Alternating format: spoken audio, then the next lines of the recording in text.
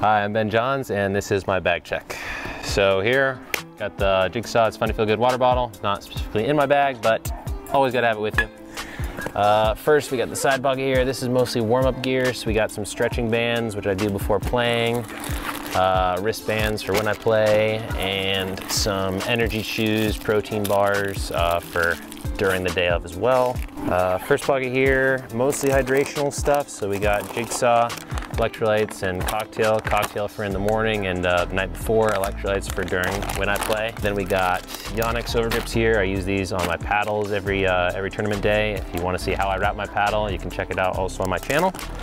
Uh, I got some more paddle stuff here, electric tape for the, uh, the lead tape and some more tape for the overgrips. Some more nutritional stuff. We got uh, electrolytes here, salt here, also during uh, the day of play. Multivitamins and magnesium, that's for morning, night.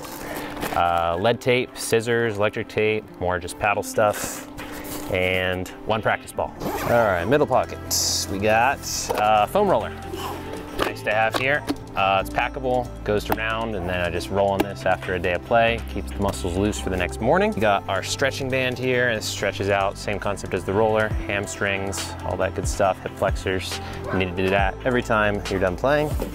Therabody massage gun, uh, just a massage gun for day of play. So when you're sore uh, or when you're tight in between matches, you can just put it on the tight area, loosen things up a little bit, then you're good to go for the next match. I gotta have change of clothes, of course, shirt, underwear, socks.